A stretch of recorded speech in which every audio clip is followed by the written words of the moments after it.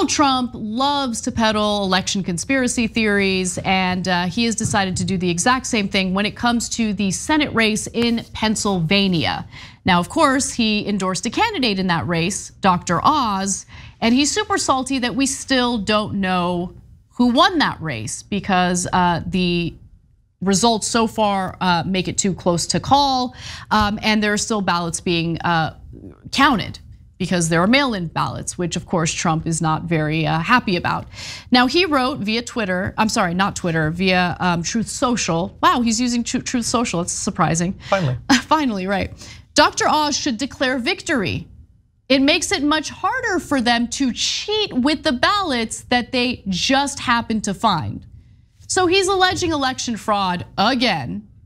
And he wants Dr. Oz to declare victory, even though we don't know whether he won yet. But are you surprised? Is anyone really surprised? Of course he's doing this. Of course he's uh, demanding that Dr. Oz do this.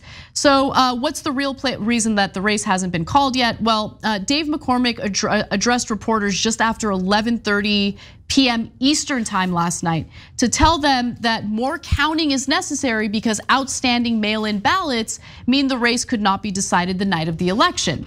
So, just quick note, uh, as we do this story right now, it still has not been decided. By the time you watch this video, it might be decided. So I just want to give you that like difference um, in in what you're likely to notice. So currently, Dr. Oz is leading by a tiny, tiny, tiny margin. So uh, the last time we checked, uh, he was at 31.3%, whereas Dave McCormick is at 31.1%. Now in Pennsylvania, there's an automatic recount that's triggered if the margin between the two candidates is less than half a point. So there could even be a recount. Uh, but Trump had more to say about the election fraud that he just made up, just pulled out of thin air. Here we go again. In Pennsylvania, they are unable to count the mail in ballots. It's a big mess. Our country should go to paper ballots. I actually agree about the paper ballots with same day voting. Just done in France, zero problems. Get smart, America. Well, European countries do a lot of things that are right that we could learn from that we usually don't learn from. Uh, but mm-hmm. John, yeah, are you surprised by any of this?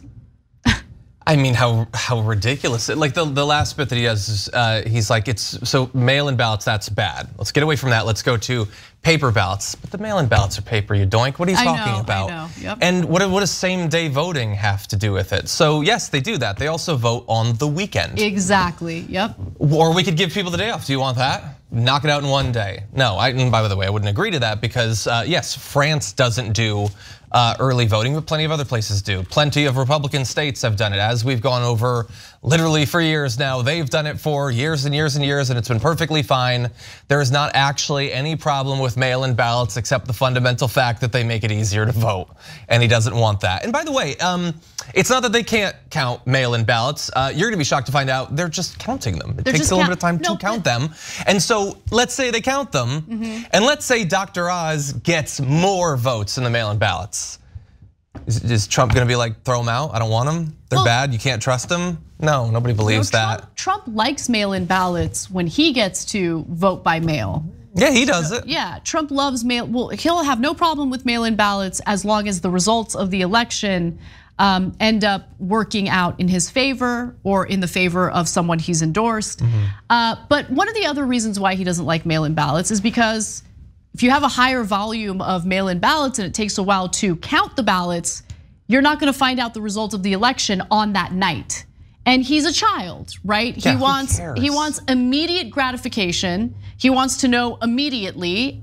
He doesn't care if, you know, uh, it's undemocratic or it would end up dismissing or disregarding people's votes if it meant that he gets to find out the results that night, it would be inaccurate because mm -hmm. you're not counting all the ballots, but he doesn't care. Yeah. He just, and by the way, he wouldn't want the results on that night if the results don't end up being what he wants. Mm -hmm. If it ends up that McCormick wins over his preferred candidate, his endorsed candidate, Dr. Oz. Yeah, look, None of it, none of it makes any sense. So in this case, he's saying just declare victory because that makes it harder for them to cheat by finding ballots later. He's obviously referring to 2020, but him declaring victory immediately doesn't seem to have helped him win the presidency. So I don't even understand his theory. You still aren't the president, you idiot. But anyway, okay, so uh, forget that. In this case, though, clearly they're cheating once again. But wait, who is cheating? So the Democrats and Hugo Chavez, who stole the election in Pennsylvania mm -hmm. in 2020, okay, so presumably they're still in charge they're, I guess, working for McCormick because you're not even trying to state that somehow McCormick has rigged the vote in Pennsylvania. So the Democrats have decided that they have ultimate control over whoever gets the primary, and they're gonna give it to McCormick, a guy who seems more likely to win the general election than Dr. Oz, who's relatively easy to attack. If that's the case, if they can just choose whoever they wanted, why, why put a Democrat in there? Have a Democrat run as a Republican and then have him win which is presumably, possibly an actual description of Dr. Oz because who the hell knows what his politics was like 10 years ago. None of this makes any sense. And it's not supposed to for us, it's not intended for us, it's intended for conservatives. But if you're like a MAGA guy watching this, does any of this make sense to you, honestly? They don't care. Does any, like, are care. you following any of this? You just know, like, oh, I want Oz win. They say Oz good, Oz not win, so now they ruin Oz.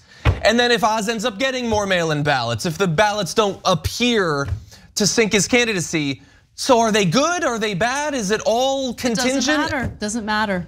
They'll change their commentary. They'll change the narrative. They cherry pick. They don't care that they're hypocrites. They don't care that Trump, if he had his way, would dismantle whatever's left of our democratic process. They don't care. They don't care. Well, and if they've rigged the vote in Pennsylvania, then why did Summer Lee win? If it's the Democratic establishment that's rigging the vote, why did they let this mm. progressive that they put millions of dollars to take out win? And that was a really narrow one. It would be super easy to suddenly, hey, bag of here's 5,000 votes, they could win it.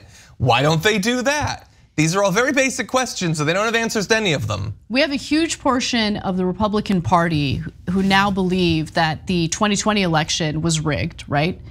And this this issue isn't going to go away. For me, it, this is way bigger than one Republican primary race in Pennsylvania for a Senate seat. For me, this is what our elections have devolved into and will continue to devolve into for I don't know election cycles to come. Yeah. And and that's the part of it that's frustrating. It's not being able to just enjoy a win or accept a loss. It's just all of the garbage and lies and lies. claims about fraud that follow our electoral process. Because the horse race wasn't annoying enough. Uh, all of the other stuff that's associated with our elections wasn't terrible enough. Now we have that added layer of people refusing to accept the results of the election because they don't like the results. That's what we're gonna have to deal with. In a country that's already being ripped apart by culture wars and all this other stuff that doesn't actually in any way have an impact on improving our lives. That's mm -hmm. that is what we're dealing with. Yeah. And that's what frustrates me about it.